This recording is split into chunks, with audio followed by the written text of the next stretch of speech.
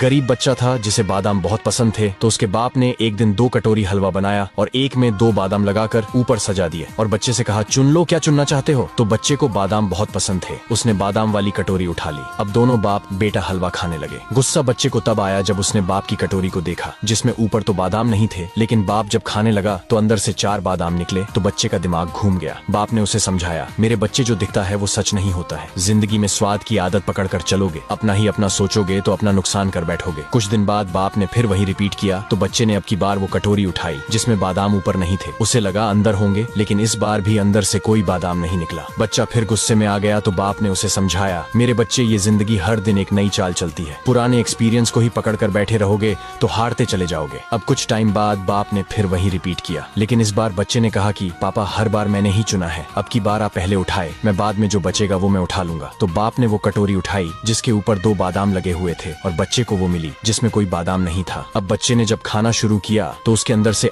आठ बादाम निकले इस बार बच्चा बहुत खुश हो गया तो बाप ने उसे समझाया मेरे बच्चे जब खुद से पहले दूसरों का अच्छा सोचना शुरू करोगे तो तुम्हारा अच्छा होना शुरू हो जाएगा निष्कर्ष बाहर का दिखावा भ्रमित कर सकता है हर अनुभव एक नया सबक होता है और दूसरों के हित की सोच अपने हित को भी साधती है